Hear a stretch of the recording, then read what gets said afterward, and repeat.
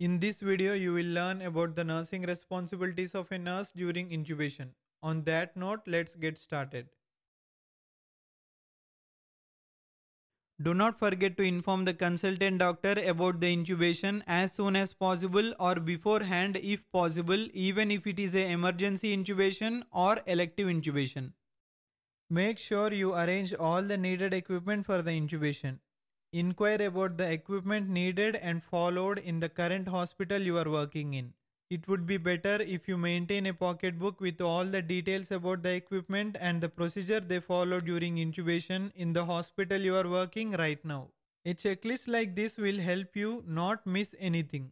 It will be handy in case of emergencies which arise out of the blue and when your brain stops working out of shock. Take consent for intubation from the patient's nearest kin. If it is a elective intubation procedure, take consent from the patient himself.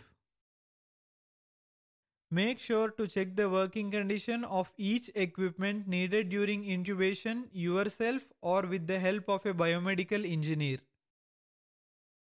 Be sure to remember all the checklists that you followed before procedure and all the events that happened during intubation with time so that you can document all of it in the nurse's notes. A well written nursing notes will save you when something goes wrong. Load all the emergency drugs and paralyzing agents as needed and as advised by the doctor who is about to intubate the patient. If it is a elective intubation, that is, if it is a planned intubation, get the facial hair shaved if the patient is male, so that it doesn't trouble you while using Dynaplaster and ET tie during the procedure.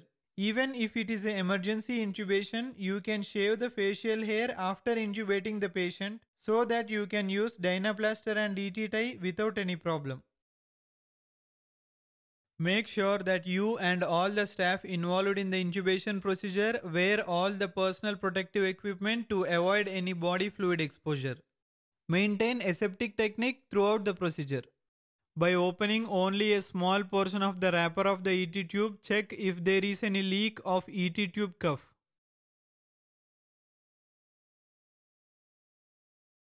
Check if the hosepipe tip of the ventilator for oxygen and air pressure fits properly in the ports available for them.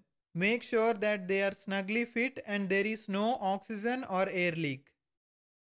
See to it that the suction jar is fitted properly to avoid any loss of suction pressure. Get the mechanical ventilator calibrated with the help of a biomedical engineer to avoid any breakdown during the procedure.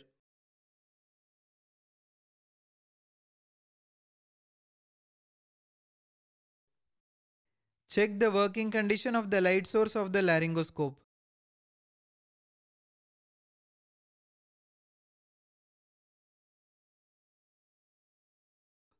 Pass the doctor the equipment needed according to the sequence of steps followed in the process of intubation.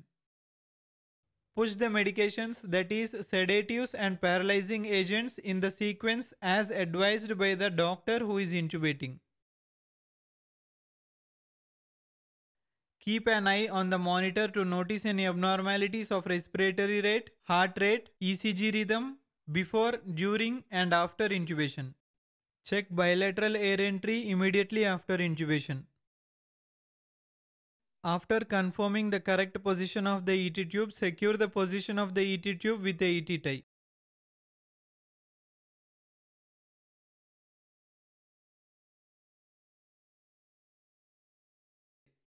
Get a chest x-ray done after finishing the procedure of intubation to confirm the correct position of the ET tube.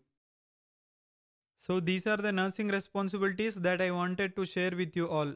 If there are any other nursing responsibilities that you think are important for the nurses to follow during the intubation process, please comment below.